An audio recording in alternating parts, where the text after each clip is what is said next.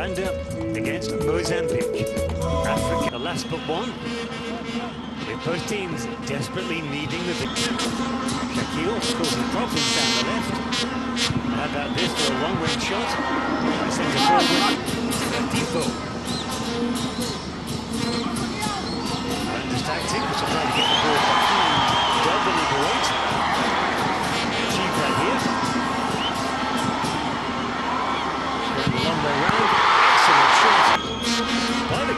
Nice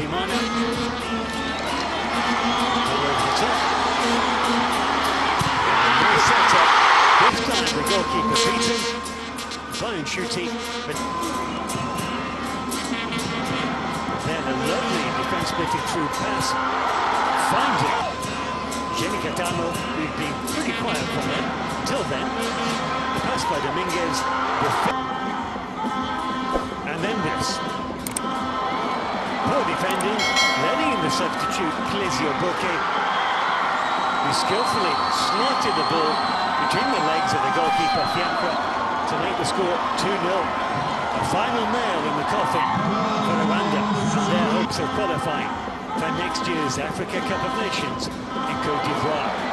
What, or what was Thierry Manzi doing or thinking by the corner flag? 2-0, and that would be the